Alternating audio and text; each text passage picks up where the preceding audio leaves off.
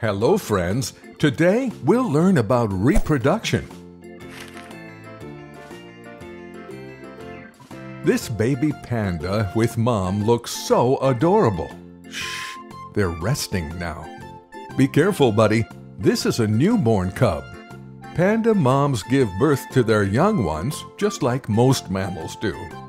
There are three ways that mammals give birth laying eggs, birthing at an early stage of development, and birthing fully developed offspring.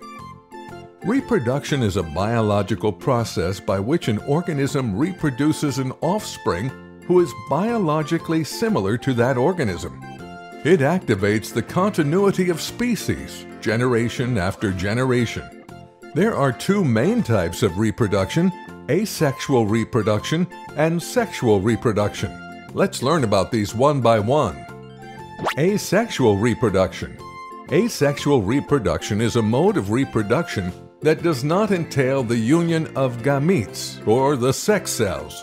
There are four main types of asexual reproduction. Binary fission. The cell splits into two. Each cell carries a copy of the DNA from the parent cell. Example, amoeba. Budding. A small bud-like outgrowth gives rise to a new individual. The outgrowth remains attached to the organism until it's fully developed. Then, it detaches itself and lives as an individual organism. Example, Hydra. Fragmentation. The parent organism splits into several parts and each part grows into a new individual. Example, planaria. Sporogenesis. In this type of reproduction, a new entity grows from the spores of certain leaves.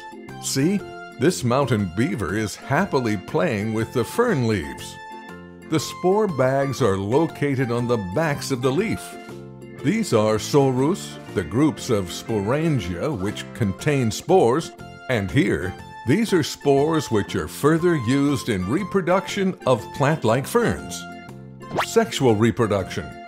It is the production of new organisms by the uniting of genetic information of two individuals of different sexes. Let's have a look at the different stages of sexual reproduction. Pre-fertilization. This stage entails the events prior to fertilization. Gamete formation or gametogenesis and transfer of gamete are the two processes that take place during pre-fertilization. Fertilization. Once the haploid male and female gametes meet and fuse together to form a zygote, this is called fertilization. Post-fertilization. Fertilization results in the formation of diploid zygote. The zygote divides mitotically and grows as an embryo. This process is known as embryogenesis. During this process, cell differentiates and modifies accordingly. Development of zygote depends completely on the organism and its life cycle.